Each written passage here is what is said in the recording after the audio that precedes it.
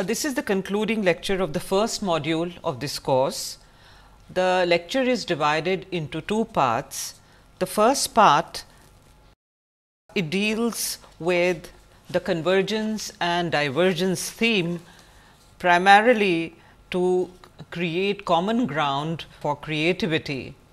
The second part reworks exercises for writing performance. So, let me start with the title of this lecture which is being, doing, writing as performance. What do I mean by these? I am again not introducing completely new terms, but I am re refining some of the ideas that we have already discussed in different ways. So, this may give you another kind of perspective on the same thought process. While I was actually working out this title, it just immediately came to my mind when I came to the concluding lecture. And I realized with certain amount of pleasure and surprise that an essay that Richard Schechner had written in performance studies and introduction uh, and this chapter title is uh, chapter 2 is titled what is performance? This had resurfaced in my consciousness uh, you know and therefore it is highly influenced this uh, way of describing our perception. It is highly influenced by this essay and this approach, but it is certainly also modified because we have applied it to the writing process, whereas Professor Richard Schechner has tried to enlarge the scope of human theater and its patterns of behavior and how to theorize about variety of instrumental and symbolic activities. So, therefore, let me now come to the terms of reference being is existence, doing is activity and performance is to do something up to a standard. Now, what does that mean and how do we handle these ideas and what, what do I want to do with these ideas?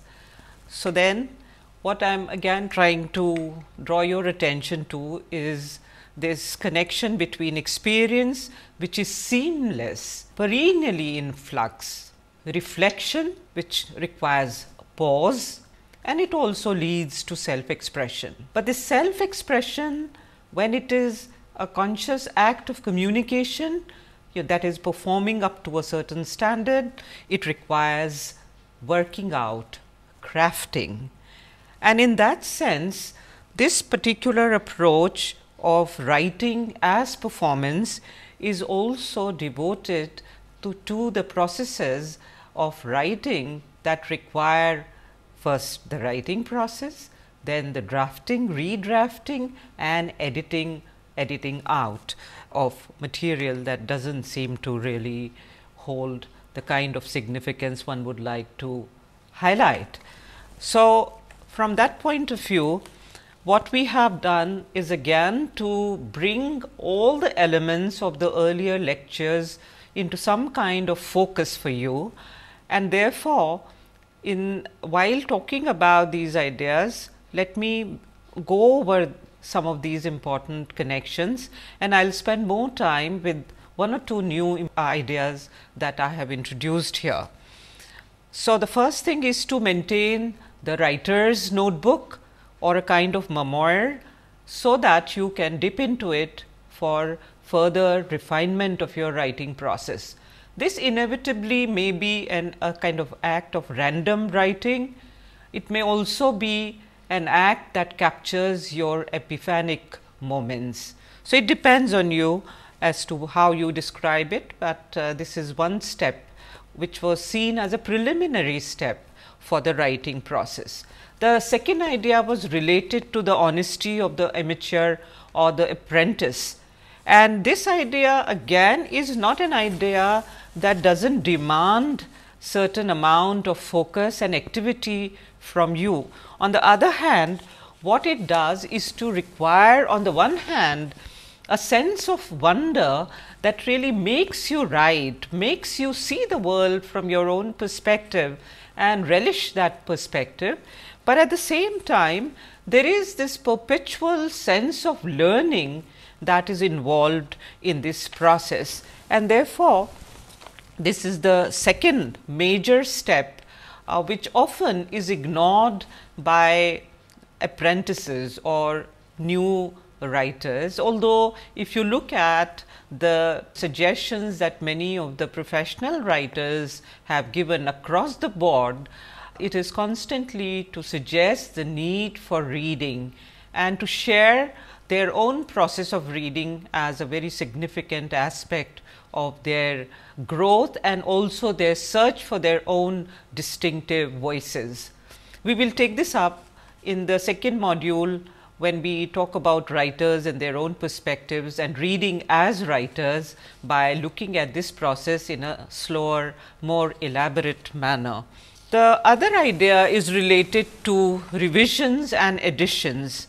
That is, it is not just enough to read cursorily and retain some semblance of what you want to retain from that reading, but I think this reading should be careful process. So, you can learn from reading carefully and widely. The next step, very crucial step is the ability to paraphrase or summarize the important aspects of the content you have gone through. And the third thing is this ability to fathom your own connection to themes, ideas, experiments in writing. So, there is this constant search which should animate this process and I think one good way of handling this is to maintain a separate book of readings. So, separate it from your memoirs although some of the writers we are going to discuss later on especially Albert Camus, he did not quite separate the two, but I think I would sort of uh, feel more comfortable if you separate the two, so that you can see the overlap between the two processes in some interesting ways.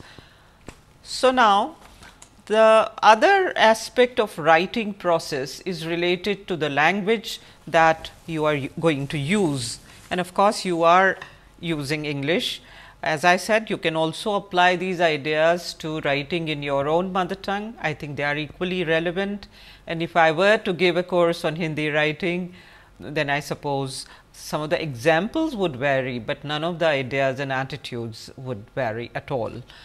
So, the first thing is grasp of standard English. The second is to the need for active exploration of words and their connotations. I find many of the students are fairly weak on in this area because they just take words for granted. I think uh, that should be uh, reviewed. Uh, vocabulary development should not be just seen as memory or memorizing words and new words, their meanings etc but you should also begin to see which of the words lead to perceptual growth. For example, the word liminal that I had added to your vocabulary last time, I feel that that is the kind of word which you can you know grow with. Many of these words require experience, they generate their own dynamics and therefore, I think it is important to see which set of words can help you in your perceptual growth. There may be a sudden moment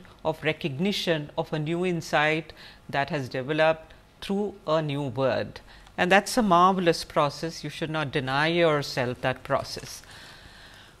The next important idea seems to be related to a sense of judgment. And really this is very very important because I see all kinds of very awkward overlaps between the domains that I have just listed for certain amount of judgment that you require about appropriate use of language in different situations and for different purposes. For example, if you are using English for formal letters or official communication, your English will be different from your uh, the language you use for mobile SMSs or for informal communication and then again distinctly different in academic writing with its own rules and regulations and protocols and of course, creative writing. Of course, you can say that in creative writing you can use all of these uh, ways of writing which is true, but I think you need to have certain amount of judgment about this matter and this is really not to tame your sensibility, but uh, mainly to make you a more educated and sensitive person because otherwise often there are all kinds of affronts that can you know affect your interaction and your writing also. One important idea now that I'd like to share with you is the significance of figures of speech so far. I have really not uh, discussed this uh, idea and so we are building block by block and so please add this block as a very vital one. Now figures of speech of course when we undertake literary education we often talk about that this whole idea in terms of uh, how figures of speech are often used and crafted for emphasis, freshness of expression or clarity. And so, we often give the examples of metaphors, paradoxes, similes etc., in order to highlight this idea. But I want to add to that discussion in a slightly different way. And this uh, departure from that is not a departure in terms of doing it in a radically different way, but by bringing in the theme of convergence and divergence by looking at metaphor as an activity which actually permeates everyday language also. And at the same time, some of the very important thinkers of scientific creativity have used this insight about the significance of metaphors in scientific creativity in a very very interesting manner where literary and scientific creativity are brought together. So, I want to really use this opportunity to share this idea which I have really cherished for a very very long time. So, I am indeed very glad that I am able to share this with you. The insight comes from uh, two physicists and uh, uh, they are Bohm and Peat. Uh, one of them was a quantum physicist, the other one describes himself as a holistic physicist. Uh, I will leave that those tags and descriptions to you. But let us see first what a metaphor is and then we will look at how Peat and Bohm have linked uh, literary creativity with scientific creativity by placing metaphor as a very crucial element of the process of cognition. So, now this is what metaphor is. So, in a metaphor it is a figure of speech uh, which establishes comparison between two different things or ideas. And what Pot, Bohm and Peat have done is to dip into metaphor from Shakespeare, but also the frame of reference in which they have undertaken this explanation is really related to scientific progress and scientific revolution. So, let me first give you the title of the book, so that you can see the context a little better. So, I am sort of uh, not able to see the full title. I think we have given it at the end, uh, but this is uh, Science, Order and Creativity. And in this chapter, they talk about scientific revolution and the crucial significance of metaphors in scientific revolutions and in their perspective or in their perception of scientific revolution, normal science often is displaced by leaps of imagination that great scientists have undertaken. And in this particular chapter which is devoted to metaphors, they talk about uh, the example of Newton and they also talk about the example of Archimedes. So, now uh, they actually give the example of Newton in terms of this very well known example of the falling apple and how through that image and through the comparison of the falling metaphor, this comparison between the falling metaphor and the moon and the earth, he, he developed very rigorously and mathematically this whole important theory of universal gravitation. So, let me read what they have said with reference to metaphors in the case of Newton and how this actually required a leap of imagination. And then I will also read out their interpretation of Shakespeare's metaphor in all the world's stage and also their hypothesis that scientific and literary creativity have the same sense of sudden perception of two very different set of ideas which lead to a new paradigm. So, then uh, this is what they had to say about the example from Newton's work. According to them, it involved a radically new mental perception, radically new mental perception, although that mental perception is shaped by the discourse within the field and they actually go back into it. I am not a scientist. So, I think if you are a scientist and you are watching this, you are better equipped to understand this idea in its uh, intricacies. So, according to them it involved a radically new mental perception of nature. It was Newton who perceived the universal implications of the fall of the apple for example, Newton's initial insight into the nature of universal gravitation, it came from this metaphor that developed in his mind which can be translated in this manner and again I am uh, paraphrasing from Bohm and Peat. So, this can be expressed in metaphoric form as the moon is an apple, which is then extended to the moon is an earth. So, uh, these are different you know the moon is different from the earth from the apple, but similar in the sense that they attract each other and obey the same laws of motion. So, then after the uh, after establishing this connection which was a result of leap of imagination and it was also an expression of heightened perception According to them of course, this metaphor was unfolded in mathematical language by you know through the theory that he established and then of course, it led to corroborative experiments in order to you know accept this theory and so on and so forth.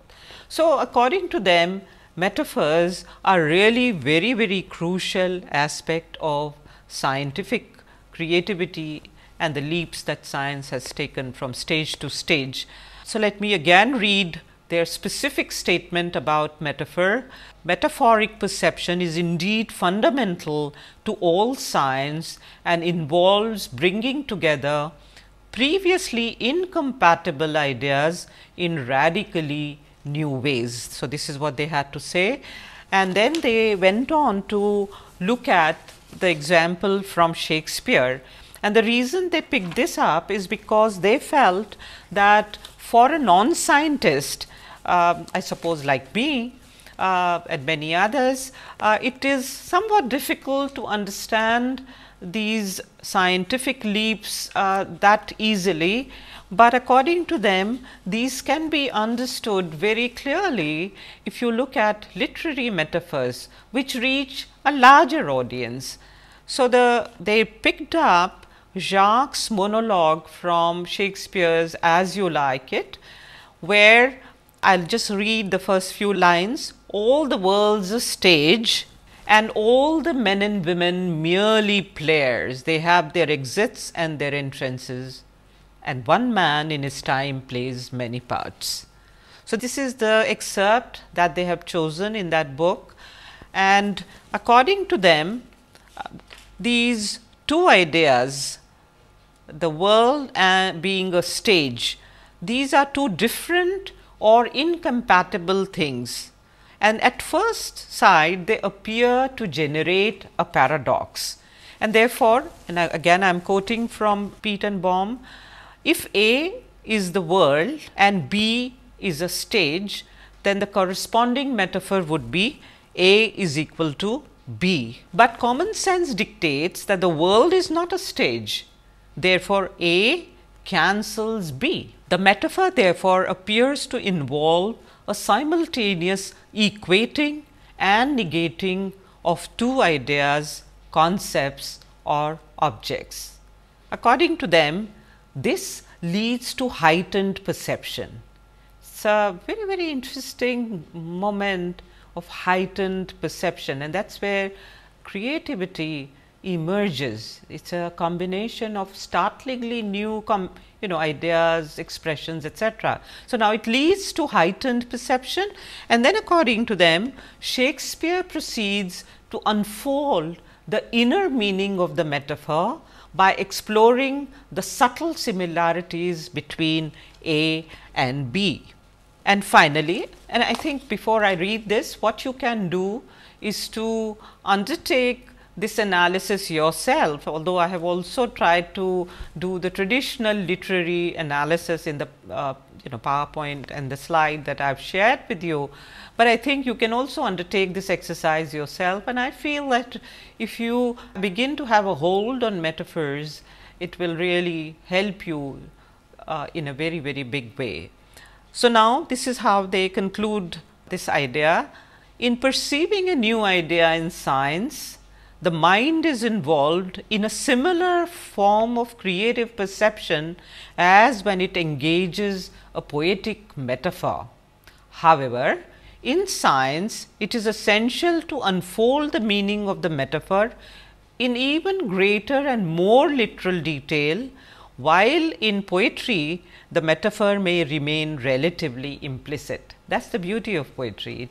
It remains vibrant and keeps growing and you can interpret it in different ways at different points in your life. So, this is an absolutely marvelous take on metaphors and I would like you to add this to the pool of ideas that we have shared and also see its connections in everyday life also that can also lead to a lot of inventiveness even while describing characters and also describing their perceptions and many other ideas. Let me add a slightly more complicated idea here. I actually debated whether I should add this idea or not but I have a feeling that many of you may be ready to actually explore ideas at a fairly complex level also. So, with uh, due apologies, uh, or you know, I would say that if this idea works for you, treat it as something that you want to think about right now. Otherwise, see this as an add-on and look at it whenever you feel like it. I have also given you the resource for uh, selecting this idea which is uh, Rob Pope's wonderful book on creativity. But uh, he uh, I will explain where this uh, idea comes from in a minute, but let us see now some enabling metaphors for the imagination. So, we have been talking about leaps of imagination and how metaphors can be a key element in this whole process and therefore, now some of the enabling metaphors are imagination as a mirror, imagination as a lamp, imagination as a labyrinth of looking glasses. And as I said, this is a complex idea from a lot of theoretical work that has gone on. And what Rob Pope is referring to is Kearney's conception of creative imagination as a further refinement of M. H. Abraham's very famous study, The Mirror and the Lamp, and what he has advised is to think about these metaphors to model a particular kind of imagination as well as a specific historical stage. Now, it is difficult to decipher the, these statements so easily, but as I said this is a layer that I have added on and you can keep it in abeyance and also come back to it whenever you feel ready for it. While talking about imagination, my suggestion is to play around with these enabling metaphors and therefore, uh, what I would like to do is to also quickly dip into this elusive nature of play that uh, Richard Schechner has talked about in play and performance from the same source, you know, in the same book that I mentioned earlier. And I think I will not read this full quotation, but mainly it talks about the elusive nature of play and therefore, I think I will leave it at that and move on to also some of the terms that have been generated by him in order to describe play, free play, Maya Leela, playing in the dark, dark play. And then I think this is time to move to the second part, which now begins to tie up the discussion around writing as performance. And so, now let us look at the series of you know activities and exercises that now we have identified as further uh, kind of refinement of the earlier exercises that have already been uh, shared with you. So, I will not actually read everything here in detail, but what I would like you to do is to mainly keep one or two main ideas in mind and look at the PowerPoint yourself, the slide yourself and also dip into earlier lectures in order to make sure that you have understood the ideas properly.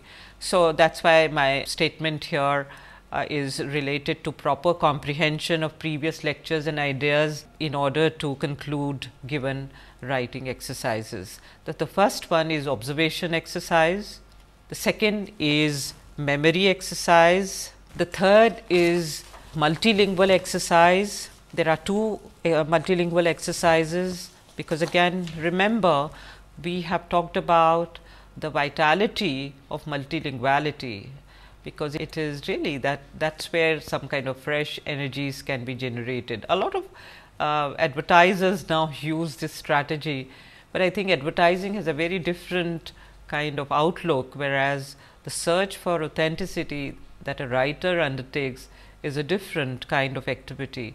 So, I think uh, you can do a lot of interesting work by exploring your multilinguality. So, the two exercises are given here. Then there is an investigative exercise, we call it investigative because uh, it would be possible for you to sort of see if you can also look at some of the words, the key words that we have discussed earlier and undertake certain amount of careful investigation in order to see how the words culture and creative are used in your setup, because that can also give you some idea about different kinds of values that circulate, change and redefine the world around us. So, that is again take on earlier exercise. The next one is uh, fusion exercise. We have given lead terms here and these lead terms I think express our point of view very clearly in point of view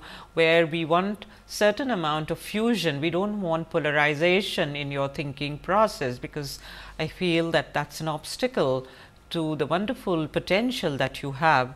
And so, in that sense uh, these two exercises again are fusion exercises and I think you can have a look at it and undertake them yourself. The next exercise is a flow exercise within fusion activities. It is a flow exercise and the reason we have described it as flow is because while listening to great music, I think you are able to reach a state of mind which is close to that of flow that is of total absorption. And so now we have picked up two pieces for your consideration. So, what we would recommend here is to listen to these two pieces. I would really like you to listen to them, but in case you really do not feel comfortable with this music, you can listen to something else, but these are really great pieces. So, what you can do is to listen to this music and immediately write a short literary piece that the music evokes. So, the suggested pieces the first one is Kumar Gandharv's Nirgun Kabir Bhajan Sunta Hai Guru Gyani and actually even within this particular Kabir Bhajan what I would like you to really notice is the part uh, which is captured in these words. This is I think towards the last uh, bit of this composition. Bin ek mandal di se bin sarovar ju pani re. Now, in my own perception, these two lines evoke the convergence theme that is a kind of nirguni scientific take of sorts, where dharti uh, without the name seems like a mandal uh, and also Bin Sarovar without the name Sarovar you would just see water for what it is. So, to me it seems like that kind of Nirgun observation which also is a starting point of scientific observation too. So, you can again listen to this piece and see what you feel about it. The second piece that I have recommended is also a piece that I love very much. It is Vivaldi's Spring from Four Seasons and it's uh, uh, Vivaldi was an Italian composer and this is a violin concerto. Now, this concerto has a sonnet, it is very interesting. It has a sonnet, uh, of course, there is a lot of debate about who wrote the sonnet, but it's many people believe Vivaldi himself wrote the sonnet. It also has some very interesting uh, instructions like in the second movement of this piece, Vivaldi would like to retain the sound of the barking dog. Also what I actually, I mean I love the music for itself, but what I also found really very interesting is that he wrote much of his music for the female music ensemble in this house of orphan girls which you know he was involved with. He was uh, taking care of these young abandoned orphans and so much of his music was composed during this period while he was teaching these young children. Also he was trying to empower them.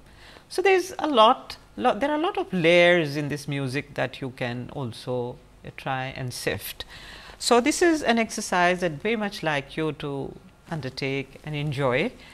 The next one is of course, the pastoral activity where the adjective pastoral we do recognize, we did not really explain it earlier quite deliberately, but we do recognize that it has many meanings and connotations and you can look at all these meanings and try and see how you view nature. So, we are relating nature to pastoral. So, write about nature as per your understanding of the terms nature and pastoral in order to establish a personal relationship with this phenomenon. And this is also a fresh idea that we have included endorsed in this course, because uh, I do feel that our relationship to nature also it is a pre given no doubt about it and it can also be seen in so many different ways. But at the same time this is something that can help us see ourselves better and also establish better relationships with the world around us, not just the social, the cultural, but also in terms of nature and also its larger ramifications today. Uh, in the middle of the blank page within the same frame of reference, you can undertake an activity which we have actually borrowed from another uh, text that is available. Uh, but in the middle of the blank page write down a list of plants or animals. And to the le uh, left of this list write a column of adjectives which describe the plants animals their texture special features memories they evoke. And to the right of the list write a column of verbs which illuminate the features of the subject. The verb should be energetic and exact. You can dip into culture and nature related discussions undertaken in lecture 5 and 8 before you undertake this exercise. Neha had undertaken this exercise actually she undertook this exercise and in a fairly elaborate kind of manner, but we decided that at this point in time what we would do is to choose only an accessible example so, uh, we have uh, chosen a very small part of what she had undertaken, because we are constantly also trying to see if our ideas make sense or not. We have tried it with the students who have undertaken the courses, but sometimes we also try and undertake these exercises ourselves in order to keep learning and also keep exploring the effectiveness of our ideas. So, uh, she chose the plant orchid and the adjectives that she has chosen are expensive, fragile, rare, purple and the verbs that she has chosen are decorate, adorn, freshen. So, this is just to give you a feel for what can be done. The other activity that is added to the list of uh, the ideas that we have already shared and this is to give a sharper focus on writing is to write a short autobiographical piece which constructs the agony or ecstasy of your educational processes keeping in mind the discussion generated in lectures 8 and 9. Redraft and edit this piece from the viewpoint of presenting it to an audience. Now, that is very important because sometimes if you feel that you are writing in a vacuum, you may not be able to really refine the process of your own writing very much. But if you have a sense of an audience, you may not think about a specific audience because of course, once something is printed as uh, Margaret Atwood has mentioned, this is a work we will, uh, this is an essay we will discuss later on. She says once something is printed, then it gains different kinds of meanings. But it is very good for a writer to have at least some sense of an audience. So, try and do that and redraft and edit it from the point of view of presenting it to an audience and if possible present it to your friends. The next exercise again is a very um, I think very entertaining and interesting exercise and this is related to the media. Watch any of the films mentioned in lecture 9 write an analytical review of the art and craft involved in bringing alive the script or theme. So, the interviews of the script writer, director and actors will help you understand the process of artistic creation better. I missed out on that whole package of DVDs that uh, Mr. Hirani had uh, released after uh, Three Idiot uh, you know came out in the public space but uh, so I do not really know uh, if what you think of that material, but certainly with the social network the material that is available is exceedingly interesting and I think we can really do a lot with that material by way of engaging with this whole process of teamwork in some of the forms that we are talking about. Because writing can be isolating, but let us say in filmmaking it's uh, a lot of teamwork is involved. So, even a young theme is not really seen only from the point of view of the young, it is also seen from the point of view of the older people mercifully I would say. So, now uh, the other uh, media exercise I think relates to the young medium that has uh, really changed everything around us. So, what I have done is to choose this statement, a very interesting statement made by Brenda Laurel regarding computers. And uh, so, you can uh, examine this idea. It is taken from a book called A Companion to Digital Literary Studies that came out a couple of years back. And so, this is what the statement is. Every user's interaction with the computer is a unique performance and moreover it is one that like theatre typically involves an element of make believe. So, it is your young medium see what you have to say about this. So, respond to it and create a piece or create a performance or create a create some teamwork by doing different things you know. By way of more ideas in this regard, I think I have already identified the essay and in the reading list you can also see this once again. Uh, so, now the reading list that uh, we have uh, suggested here actually we have suggested only two books really speaking. So, uh, this earlier book that I talked about if you want you can just have a look at it because we have only used one statement. We have not really used the concept and the approach in a radical way and that is why we just have retained this here. So, uh, you can have a look at this uh, digital literary studies or just feed the word um, Brenda Laurel in Google search and gain more access to material.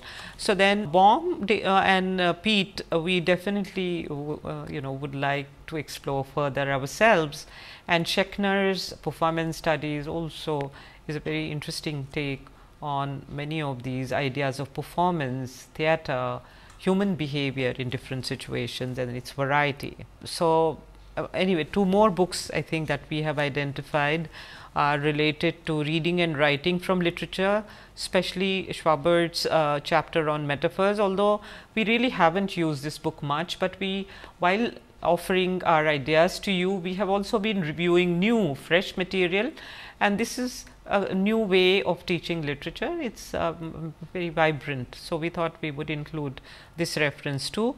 And the last one Simon Ray and Susan Schreiber, uh, Schreibman editors companion to digital literary studies and that, that's what we dipped into for performance and interaction idea.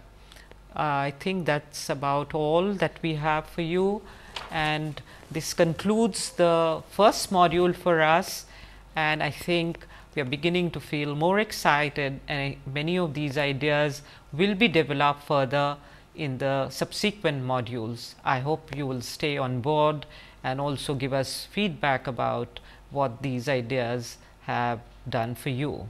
Thank you.